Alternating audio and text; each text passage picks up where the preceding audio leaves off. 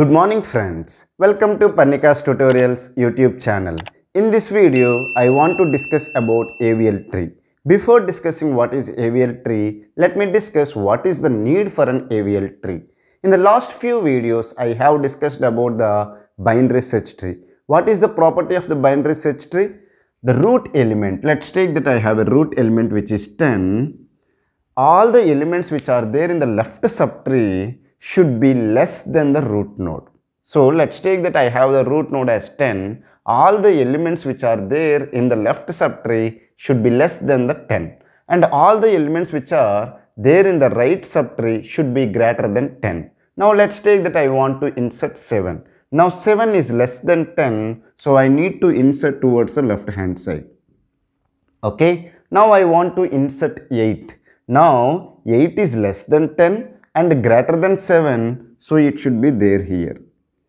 Is it clear? Now I want to insert 5. Now 5 is less than 10 and less than 7 so I need to insert here. Now I want to insert 15. Now 15 is greater than 10 so it should be there in the right subtree so I will insert here. Now I want to insert 14. Now 14 is greater than 10 so it should come here and less than 15 so it should be there here.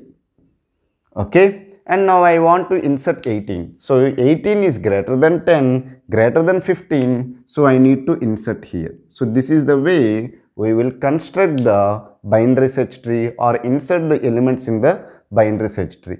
Now what I want to do is that after constructing I want to search whether 18 element is there in this binary search tree or not. Now look at it. What is the root element is 10. Now if the 18 element is there, obviously it should be there in the right subtree. Why? 18 is greater than 10. Suppose let's take that whatever the element you want to search, let's take that you want to search 5. Now if you want to search 5, as your root element is 10, if the element 5 is there, it should be there in the left subtree of the root. Now, let's take that. 18 I want to search. How I will search? I will compare with root node. What is the element is there in the root node? 10. So, 10 is not equal to 18. So, whatever the element you want to search is not there at the root node. Now, you look at it. So, 18 is greater than 10. So, it should be there in the right subtree. Now you will come to the right subtree of the root. What is the element is there? Element is 15. 15 is not equal to 18. So whatever the element you want to search is there, not there here also. Now you will compare. 15 is less than 18 or I can say that 18 is greater than 15. So if it is there, it should be there in the right subtree of this 15. So you will go to the right subtree and look at what is the element is there here 18. 18 you want to search which is equal. So now look at how many comparisons you have done while searching for the 18. One comparison here, one comparison here, one comparison. So totally we have done the three comparisons which is equal to I can say that order of log n. Almost equal to order of log n. What is this n? Number of elements in this binary search tree. Look at how many elements are there. 1, 2, 3, 4, 5, 6, 7. So, log n even is equal to 3. Is it clear? Almost equal to 3. So, I can say that on an average case, for searching for an element in the binary search tree will take log n. Now, what is the problem with the binary search tree? Let me discuss. Let's take that you have only 10, 15, 18, 22. This is your binary search tree. You want to insert 10, 15, 18, 22. Now, if you look at, obviously I need to insert here only. First I have inserted 10, which is the root node. Are you able to understand? Whatever the element you want to insert, first that element will act as a root node. Then 15 you want to insert. Now, 15 is greater than 10. So, obviously you need to insert here. Now you want to insert 18. So, which is greater than 10, greater than 15. So, you will insert here. Similarly, you want to insert 22. 10, 22 is greater than 10, greater than 15, greater than 18. So, you have inserted. Now what is this kind binary search tree we'll call? We'll call it as a right skewed binary search tree. All the elements are there in the right hand side. There are no elements in the left subtree. Is it clear? Are you able to understand? This kind of binary search tree, we will call it as right skewed binary search tree. In shortcut, I will write it as BST. Now, if you look at, if you want to search 22, it is not there here. 22 is greater than root node. So, if it is there, it should be there in the right subtree. So, you will search for here, it is not there. You will search here, not there. It is there here. Now, if you look at what is the time complexity it has taken, it has taken order of n. How I am saying order of n? How many comparisons we have done? 1, 2, 3, 4. So, we have done the 4 comparisons which is equal to number of elements in this binary search tree. So, in a worst case, the searching will take in a binary search tree is order of n. So I want to reduce it. In an average case, it is taking order of log n. In a worst case, it is taking order of n. To avoid this time complexity order of n, we will go for the balancing.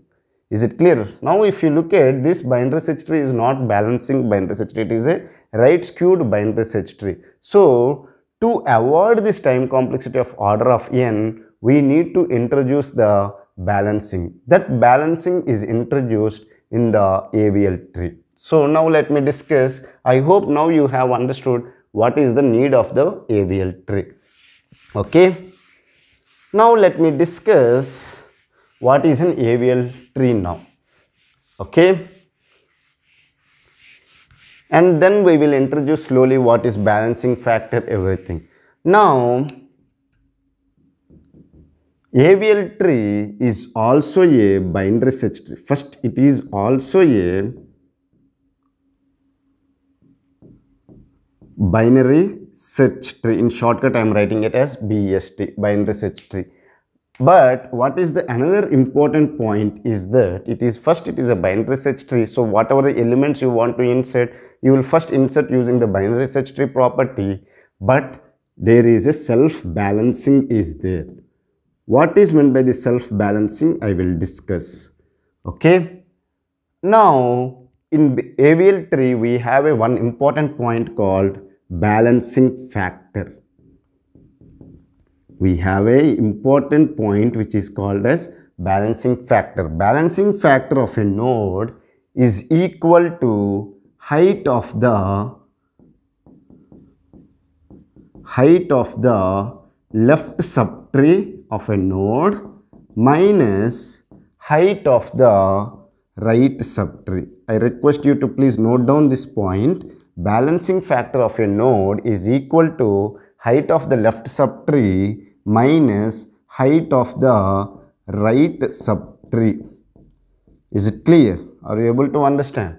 Now, this balancing factor should be there in a node from minus 1 to 0 to 1. Then we can say that that binary search tree is a AVL tree.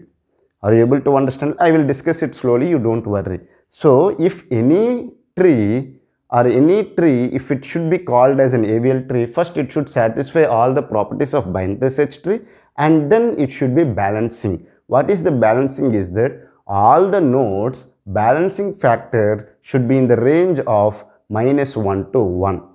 Then I will call it as an AVL tree. So how we will calculate the balancing factor is equal to height of the left subtree minus height of the right subtree. Now let me discuss few examples whether they are AVL trees or not. Okay. Now let's take that this example. Suppose let's take that you have 5, 7, 8. Now we will compute the balancing factor of this each node in this tree. Okay. Now what is the balancing factor for this node? How many elements are there in the left subtree? 0. So 0, height of the left subtree is 0 and what is the height of this right subtree? Again 0. So 0 minus 0 is equal to 0. So balancing factor of this node is 0. Now you compare this one. What is the balancing factor of this node? Balancing factor of this node is how many elements are there in the left subtree? 0. So height of the left subtree is 0.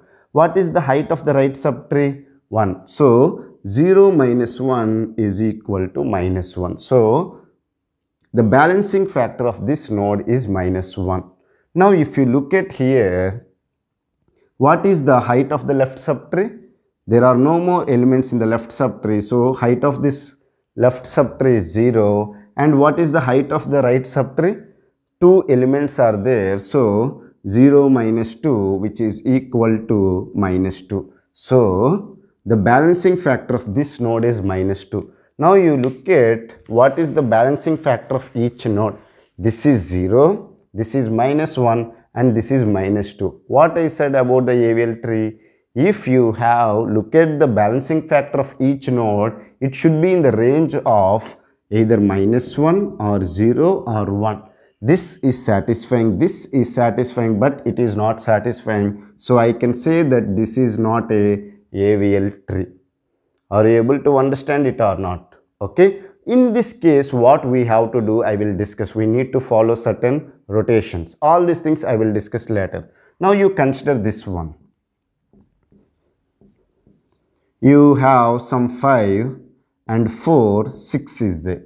Okay? You have a binary search tree with elements 5 4 6 now compute the balancing factor of this node. Height of the left subtree is 0 height of the right subtree is 0 so 0 minus 0 is 0 Okay, again if you compute the balancing factor of this one which is equal to 0 minus 0 because height of the left subtree is 0, height of the right subtree is 0. So 0 minus 0 is equal to 0. Now if you compute the balancing factor of this one, height of the left subtree is 1, height of the right subtree is 1. So 1 minus 1 is equal to 0. Now if you look at balancing factor, let me write it balancing factor of all the nodes are 0 which is in the range of this one. So I can say that this is an AVL tree. Okay. Now you can ask me, sir, why should we have this range minus 1, 0, 1? If you look at here, this is again a skewed. Okay. If the balancing factor we are keeping minus 1, 0, 1, we are keeping a constraint on the skewed Suppose if it is there, then again it is going for the order of n. In a worst case, if I want to search for an element 8, again it is taking order of n. So, in AVL tree, what we are doing, we are introducing the balancing factor to keep a constraint on the skewed nature, whether it is a left skewed or the right skewed. Okay. So, if any binary search tree and all the nodes which are in the balancing factor minus 1, 0, 1, then I can say that it is an AVL tree. So I hope you have understood what is an AVL tree, what is the need for an AVL tree, how to compute the balancing factor of each node and how can we check whether it is AVL tree or not. If you still have any doubts related to the AVL tree, feel free to ask me in the comment section. I will try to clear your doubts as early as possible. In the next video, I will discuss about what are the rotations we have to do. Suppose let's take that this AVL tree. This is not an AVL tree. If you have taken this binary search tree, if you want to make it as an AVL tree, I said we need to follow some rotations. We have four rotations. All these things I will discuss in the next video. Thank you for watching the complete video. Have a nice day.